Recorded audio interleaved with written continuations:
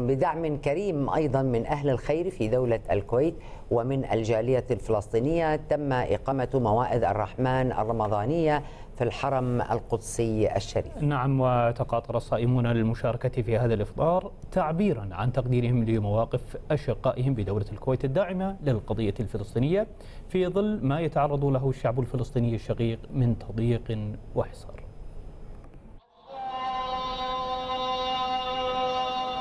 هنا المسجد الأقصى المبارك حيث ترتاح النفس وتحل الطمأنينة التي تسكن الروح وتعمر القلب.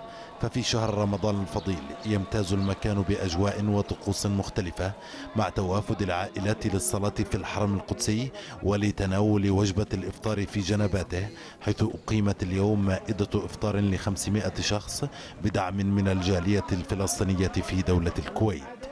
هذا المشروع هو جزء من برنامج مشترك قرر أن يقوم به أهل القدس بالتنسيق مع الجالية الفلسطينية في دولة الكويت من ليتضمن عدد كبير من الفعاليات خلال شهر رمضان المبارك تحت شعار الوفاء للكويت من أجل إيصال رسالتين.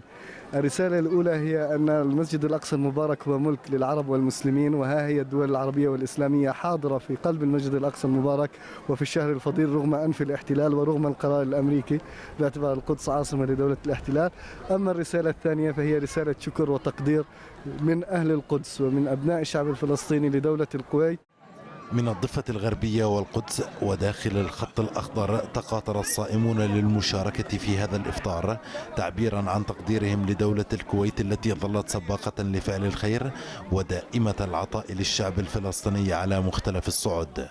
الشكر موصول إلى آه، دولة الكويت التي وقفت وتساند القضية الفلسطينية آه، بال يعني بكل ما أوتت من قوة من مال من آه، من دعم معنوي. وكان آخرها رئيس البرلمان الكويتي على حديثه ووقفته القوية مع أبناء شعبنا الفلسطيني. نحن كمقدسيين نفتخر بهذه الدعم ونفتخر بهذا الإفطار. ولعل مواقف دولة الكويت ظلت راسخة في قلوب وعقول الفلسطينيين فالكويت الصغيرة بجغرافيتها ظلت كبيرة بعطائها عبر جسورها الممتدة من قلبها النابض إلى مدينة القدس وسائر الأراضي الفلسطينية حين وقفت إلى جانب الفلسطينيين ولم تتخلى عنهم.